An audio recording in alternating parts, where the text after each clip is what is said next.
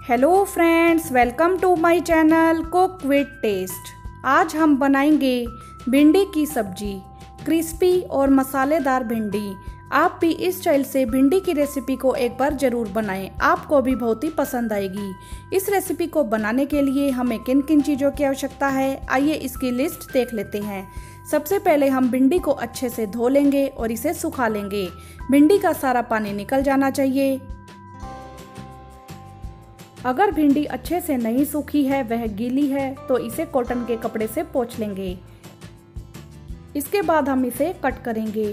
भिंडी के head part को और बैक पार्ट को भी हम हटा देंगे।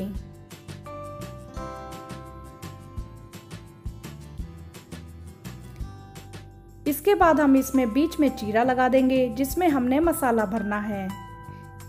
इसमें मसाला भरकर ही हम अपनी मसालेदार भिंडी को रेडी करेंगे। इसी प्रकार हमने सारी भिंडी को काट लेना है। ये मैंने 250 ग्राम भिंडी का यूज़ किया है और चार से पाँच मैंने हरी मिर्चें ली हैं। अगर आपको तीखा पसंद है तो हरी मिर्चें लें, नहीं तो स्किप भी कर सकते हैं। अब हम मसाला बनाएँगे। आधा छोटा चम्मच हल्दी पाउडर डालेंगे। एक छोटा चम्मच लाल मिर्च पाउडर डालेंगे। मैं कश्मीरी लाल मिर्च पाउडर का यूज़ कर रही हूँ। गरम मसाला डालेंगे। आमचूर पाउडर डालेंगे। किचन किंग मसाला डालेंगे। अगर आपके पास अवेलेबल है तो डालें, नहीं तो इसे स्किप भी कर सकते हैं। धनिया पाउडर डालेंगे।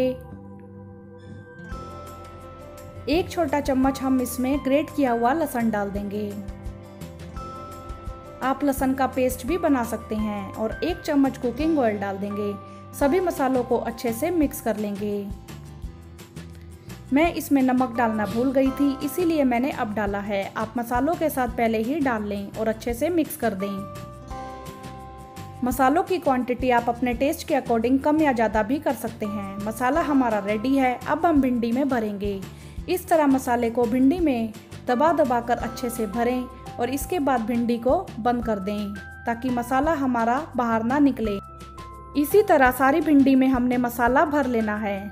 भिंडी मैं सरसों के तेल में बना रही हूँ। आप चाहें तो कुकिंग ऑयल का यूज़ भी कर सकते हैं। लेकिन सरसों के तेल में भिंडी बहुत ही क्रिस्पी बनती है। सरसों के तेल को अच्छे से गर्म कर लेंगे। इसके बाद एक चुटकी नमक डाल देंगे। इससे सरसों के तेल में से स्मेल बिल्कुल भी नहीं आती।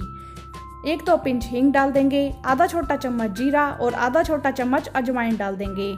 जब जीरा हमारा अच्छे से तड़क जाए, हम इसमें भिंडी डाल देंगे। लो टू मीडियम फ्लेम पर हम भिंडी को भूनेंगे। हल्का हल्का स्पैचुला चलाते हुए भिंडी को मिक्स करेंगे। बहुत ज़्यादा तेज हमें स्पैचुला को नहीं चलाना है, नहीं तो हमारा मसाला निकलने लगेगा।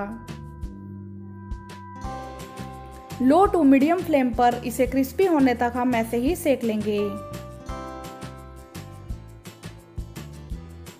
बीच बीच में हम इसे चला देंगे।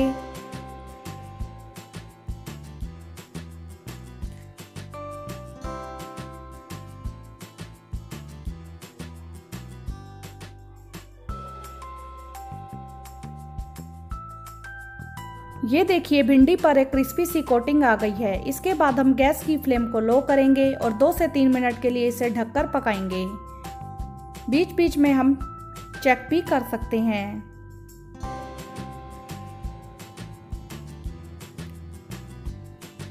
अभी भिंडी हमारी गली नहीं है। गैस की फ्लेम को लो करके इसे दो से तीन मिनट के लिए और पका लेते हैं। ये देखिए फ्रेंड्स, भिंडी हमारी रेडी है। बहुत ही जल्दी यह भिंडी की सब्ज़ी रेडी हो जाती है और सभी को बहुत ही पसंद आती है। क्रिस्पी मसालेदार भिंडी हमारी रेडी है। अब हम इसे गर्मा गर्म सर्व करेंगे। आप इसे रोटी, परांठी, किसी भी चीज़ के साथ सर्व कर सकते हैं। क्रिस्पी मसालेदार भिंडी की रेसिपी आपको कैसी लगी, आप हमें कमेंट्स करके ज़रूर बताएँ। वीडियो को लाइक करें, ज़्यादा से ज़्यादा शेयर करें और चैनल को सब्सक्राइब करना ना भूलें।